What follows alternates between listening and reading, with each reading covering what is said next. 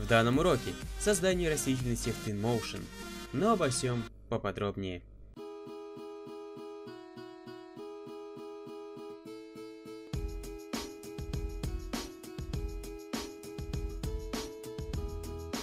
Всем привет! С вами Джоник X. Перед нами окно программы с подготовленным объектом. Если слева сверху под панелью быстрого доступа нажать на треугольник, раскроется библиотека с элементами. В разделе Vegetation and Landscape, растительность и ландшафты, будут такие подразделы, как Trees – деревья, Bushes – кусты, Grass and Flowers – трава и цветы, Rocks – камни и Misc – разные. К примеру, передачим дерево на полигон. Теперь его можно перемещать или копировать с помощью клавиши Shift. Однако копирование возможно только в ряд, без возможности отклонения от прямой линии. Для рандомного расположения деревьев не только, можно просто перетаскивать деревья. Очень долго перетаскивать, если нужно больше 100 единиц. Именно для такого случая слева снизу в разделе Nature природа есть инструмент Vegetation растительность. В темной строке доступны Paint рисовать и Erase стирать при нажатии на которые ниже и правее появляются параметры diameter, диаметр и density, плотность. Левее представлены растения, которые можно использовать. Их можно добавлять перетаскиванием из библиотеки, удалять, переименовывать или скрывать. Создадим участок леса. Для этого жмем на растение. Далее Paint рисовать. Диаметр, диаметр сделаем 20-25 метров.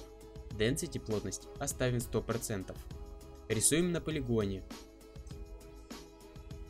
Теперь выберем несколько растений и нарисуем на полигоне. Как? С помощью клавиши Shift. Замысловато придумано. Рисуем на полигоне. В итоге растения не пересекаются, то есть не растут из одной точки, а также расположены хаотично. Из-за этого получается лес, а не искусственно созданная лесополоса. Кроме полигона и ландшафта, растения можно разместить на объектах. К примеру, импортируем здание. А, точнее, оно уже импортировано. Нарисуем растительность на крыше. Трава или кусты, деревья или цветы, все размещается в пределах крыши. В целом получается здание зеленой крыши, или же заброшенное здание, если подобрать соответствующие текстуры. Примечательно, но это тот случай, когда изменение касательно размещения растительности прорыв. Но какой? Сравнение. Взглянем на предыдущие версии. Подойдет версия 2016. Раньше раздел назывался Forest – лес. Размещение растительности на полигоне и на объектах было разделено на Paint Terrain – рисование местности и Scatter Object – точечный объект.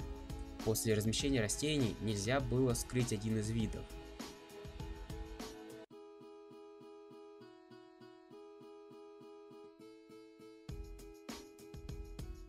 Однако при необходимости скрыть один вид можно, всего лишь выбрав его и в параметре Density плотность поставив 0%.